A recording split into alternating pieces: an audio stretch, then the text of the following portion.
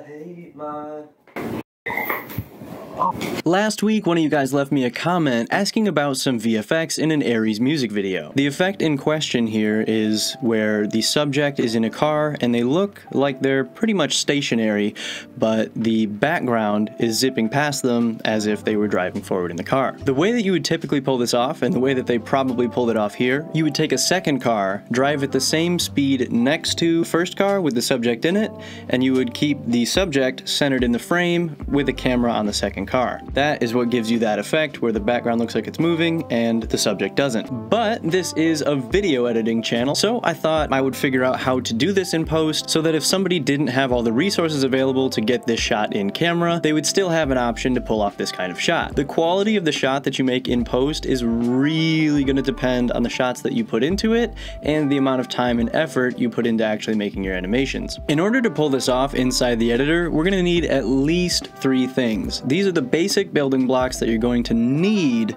in order to make this effect work. You're going to need some keyable footage of you or your subject, or I guess you could rotoscope it if you're an absolute editing savage, but I'm going to key it. So we'll grab some frames out of this blue screen footage here, boop, just like that. And now that our blue screen footage is on our timeline, we're gonna jump into Fusion because everything else we're doing today takes place in there. So we have our media in number one, which I'm going to select and press F2, rename this B screen so I can keep track of that.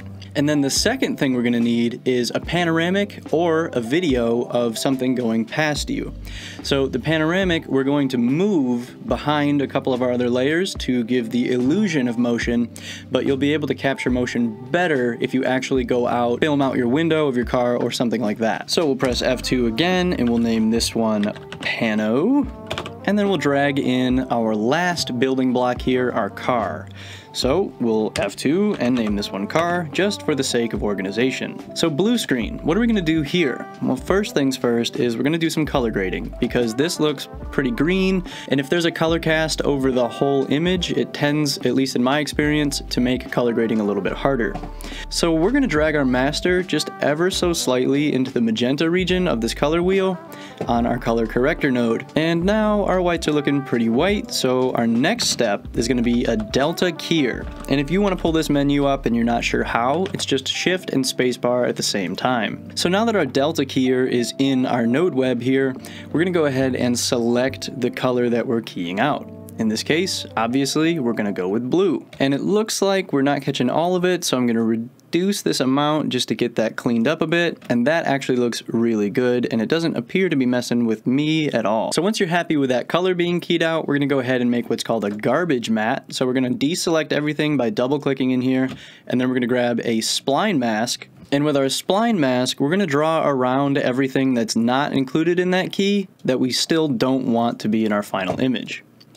So we'll just do a rough mask around there, go down there, and grab that. And now that we've made our spline that's not connected to anything, remember, we're going to hold right click on its output, and we're going to move that over to our delta keyer, and then let go of right click. Once you've done that, you're going to get this little menu, and each of these are one of these inputs, and we're just going to choose garbage matte and now I'm gone. But not to worry, it's still working how it's supposed to. We're just gonna click on this invert box with our B-spline selected, and now we have me just hanging out by myself with nothing else in the frame. The next thing we're gonna do here is add a merge node, and we're gonna get our car into this. We're gonna go through a similar masking process here, where we're gonna take our car, and we're just gonna go ahead and merge that right into this merge node. And right off the bat here, it looks a little bit too small, so we're gonna go ahead and add a transform node into this node web as well, and then we're gonna make this bigger.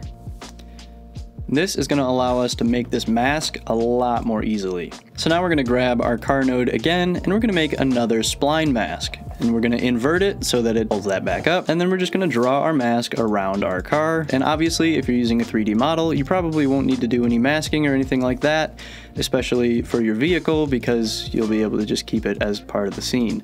And if you need to know how to import some uh, 3D models, I have another video about that that I'll link in the description down below.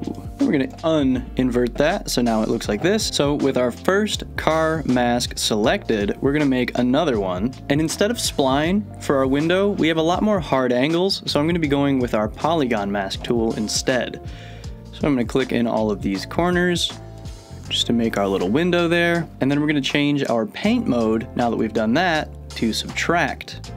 And you'll see that now we can see right through that window. Now that our car is masked out and a little bit better of a size, we're gonna go ahead and add a transform node to our subject as well. And then we're gonna shrink that down a bit so that it will fit inside of our car. Both of these are gonna get bigger soon, but I want them to fit together before we get to that step. So I'm going to put me in the car in a way that kind of looks like I might be sitting in there. At this point, if you wanted, you would add some color correction to make these two things match. But for this, for these purposes, I don't think we're too far off on our colors here. So these both go into the same merge node. So if we want to move this around as a big group, we'll take this merge and add a transform to the end of that. So now we can take everything in that merge and adjust its position and its size with just one transform node. That's going to be really handy coming up here. We still have one building block left to go and that's going to be the background. So we'll take our pano node and we'll move it over toward media out just so we can keep this a little bit organized, drag media out over a little bit and then we'll add another merge node after our transform but before media out and that is where our pano is going to live. Now, immediately it's going to cut off everything we had going on, but that's because this line going from pano to merge 2 is green, which indicates that it's the foreground layer. So I'm going to go ahead and click on merge 2, hit control T, and that will flip our foreground and background layers so that our initial composite here is on top and our background is the background, exactly how we want. Now is when things get a little bit funky. We're gonna make ourselves some more space here by moving those over, and we're gonna sever both of these connections. Now we're to start working in 3D space. And don't click off because it's not as scary as it sounds. I'm to walk you through step by step. Click on our panorama or our background node, and then we're to come over here to this little hotbar and we're to click on add image plane right here. Now we have our pano going into an image plane, and then we're to run that image plane into a merge 3D, and then we're to make an image plane for our initial composite as well. So I'm going to go ahead and click on that. And then I'm going to run this into our Merge 3D as well. And again, for our initial composite, you want that green line in order to indicate that it's going to be the foreground. Now that both of these are in a Merge 3D, we're going to run this Merge 3D into a Renderer 3D. And what that's going to do is actually allow Resolve to show you what's going on. Because if you don't have the renderer in your node web, you won't be able to see anything you're doing. So you definitely need to run through that renderer in order to actually do this project at all. And now is actually the fun part. We're going to add in a 3D camera. So we'll click on our Merge 3D that we made, and then we'll go ahead and come up to this same hotbar and we'll click Camera 3D. That's going to go into that pink line input right there, and that is going to allow us to do some really cool stuff here. Our next step is to click on our image plane that we made for our background image, and we're going to press 1 on our keyboard, and that's going to show us our image plane in the 3D space.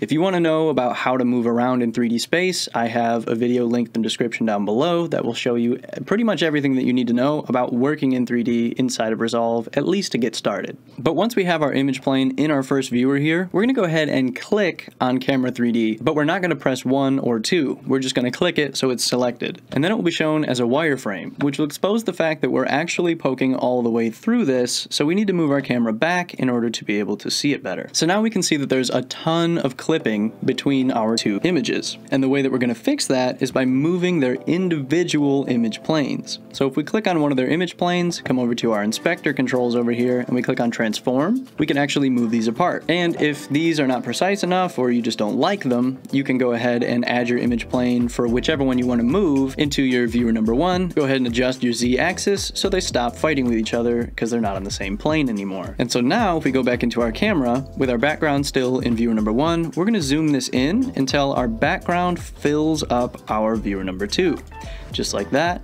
And then we're gonna move it all the way to one side. And it's gonna become obvious pretty quick here that the longer you want your actual clip here to be, the longer you're gonna need this panoramic to be physically, or the longer you're actually gonna need your video to be shot for. So now that everything is right here, we're gonna grab our transform and we're actually gonna reduce the size of our car and we're gonna move it around. So if we are paying attention, our camera is all the way on this right side here of our panoramic. So now what we're doing is actually putting our car in front of our camera. we'll move our camera a little bit closer because obviously this car's wheels aren't going to spin and that's going to be a tell. So if we can get those out of the shot, that would be ideal in this case.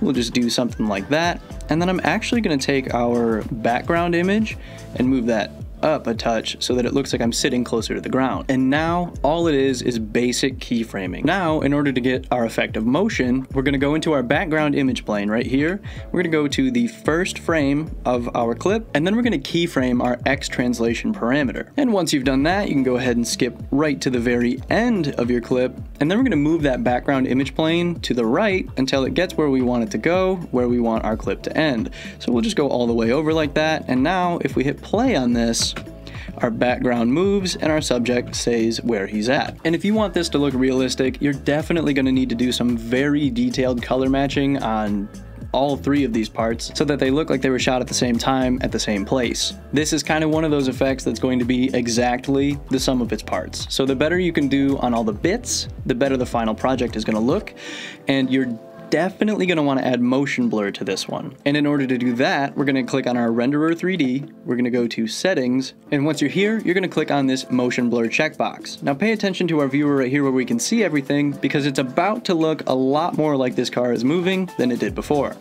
So we'll click on motion blur and it blurs the correct way because that's how our background is moving. So if we hit play on this, we'll see that our car appears to be moving because the background moving against it, but we'd be able to add a lot more realism if we added some jitters maybe to the car or a little bit of camera shake into the camera. There are a lot of little tweaks that you can do to make this look perfect, but this is the gist of how to actually get this effect done if you don't have access to two cars and a camera and possibly a road that you had to rent all kinds of different things to get a shot like this safely. So if you're looking to get this effect but you can't get it outside practically, this is the best way that I've found to do it in post inside of Resolve. So hopefully this cleared that up for you and to reiterate, this is an effect better done in camera than in post. I really hope that you guys enjoyed brushing up on your fusion skills today. If you have any questions left after watching the video, or if you want to request a video for the future, or you just want to say hi, go ahead and do any of that stuff in the comments down below because I'd love to talk to you guys. This was how to create Aries in-camera car effect in post. And until next Thursday, my name is Gerrit Harding, and I'll see you next time.